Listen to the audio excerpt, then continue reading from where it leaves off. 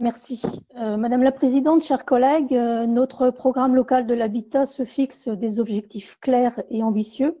Limiter la périurbanisation, réduire la consommation des espaces naturels et agricoles, développer une ville des courtes distances pour faire de notre métropole une agglomération où il fait bon vivre en l'inscrivant pleinement dans la transition écologique et énergétique. Ce programme mettait l'accent sur une réponse à la fois qualitative et quantitative aux besoins de tous les habitants et futurs habitants. Son élaboration s'appuyait sur un diagnostic ainsi précisé. 30 426 demandeurs de logements sociaux, un taux SRU non respecté, une démographie dynamique, des besoins nouveaux, mais aussi une paupérisation d'un grand nombre d'habitants.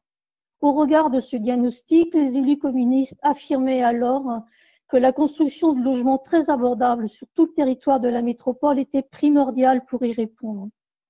L'Observatoire de l'habitat de l'agglomération nantaise pour 2019-2020 ne contredit pas ce diagnostic. Il démontre au contraire les tensions sur les marchés locaux de l'habitat, une progression du nombre de demandeurs de logements sociaux passant à plus de 34 000. Je rajouterais que face à la crise sanitaire, ce n'est plus simplement le droit au logement qui est posé, sujet bien évidemment avivé par la crise, mais ce à quoi le logement donne droit. La crise amplifie le mal logement, aggrave les situations d'isolement pour les publics fragiles. La crise exige donc de répondre aux défis d'habiter, d'habiter mieux et concilier densité, nature, intimité. Alors oui, nous avons besoin d'innovation en la matière. Il nous faut en effet répondre à tous les besoins démographiques, besoins économiques, besoins sociaux et besoins écologiques. Mais nous avons surtout, pour réduire les inégalités qui se creusent et construire l'un des remparts à la précarité ou à la pauvreté, besoin de réaffirmer notre rôle de bâtisseur et en premier lieu construire du logement social et très social. Les années 2019 et 2020 resteront des années sombres pour la construction de logements sociaux. 500 logements sociaux manquent à l'appel des objectifs en 2019, c'est pire en 2020. Cela fait suite à des années où certes la mise en chantier était plus élevée, mais touchait plus particulièrement le, logement abordable et la promotion immobilière qualifiée de très active. Le logement social était déjà à la traîne. C'est pourquoi la construction de 6 000 logements neufs par an, parmi lesquels 2 000 logements sociaux, soit 33% de la production totale, doit être en permanence notre priorité absolue. Sinon, nous ne parviendrons pas à répondre à des besoins qui vont s'amplifier.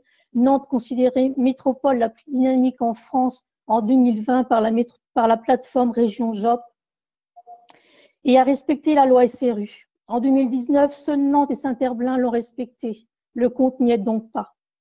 La conférence intercommunale du logement doit prendre ce sujet à bras le corps et à travers le dialogue et la concertation trouver les moyens de satisfaire dans les années qui viennent l'ensemble des demandes. C'est essentiellement une exigence de cohésion sociale, d'égalité et une question de volonté politique.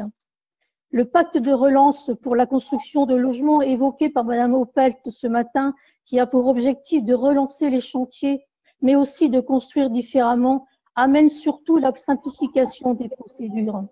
Ce pacte évite bien évidemment d'évoquer la remise en cause des diverses mesures des restrictions budgétaires qui ont frappé les collectivités et le secteur HLM. Or, la plus grave crise de la construction de ces dernières années est désormais une réalité.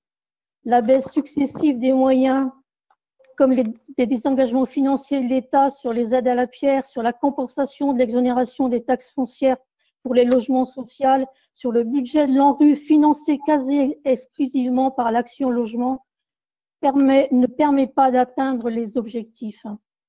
Pourtant, et j'en termine, le PLH est un outil de la relance économique. Les constructions de logements participent à la reprise économique, la création d'emplois et de recettes fiscales nouvelles. Je vous remercie de votre attention.